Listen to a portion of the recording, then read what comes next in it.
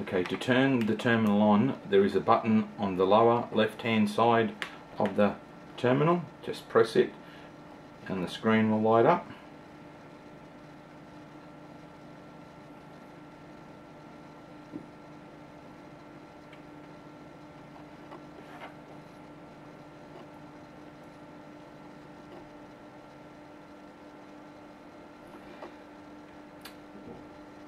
when the writing starts to appear there is a little tick in the lower right hand corner. You just wait till it gets to please accept the disclaimer. Press that tick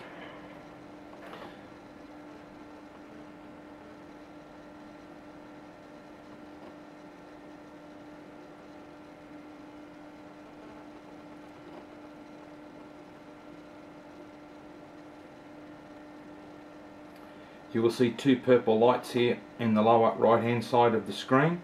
The bottom one is your GPS to tell you the location of where you are.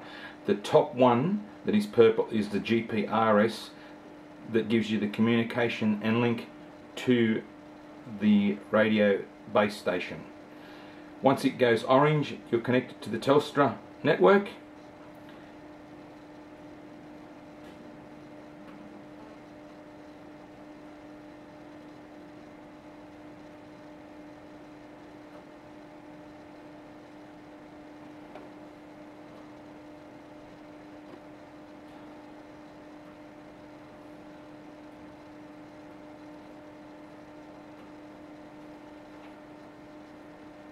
and then it will go green. That means that you are now connected to the network.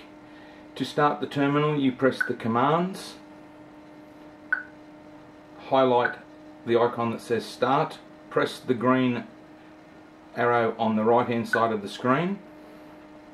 It comes up with a pin pad. You then enter your pin number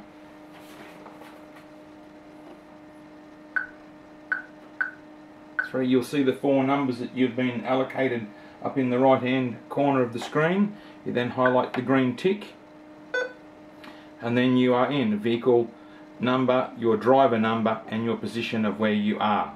That is how you start the terminal. To finish the terminal and shut it down, you go to the commands icon as well.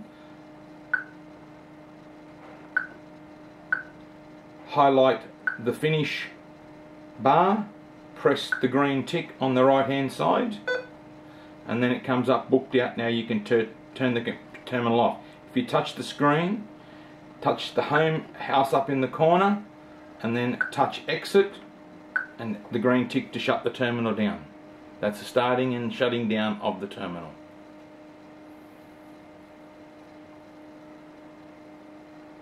I didn't out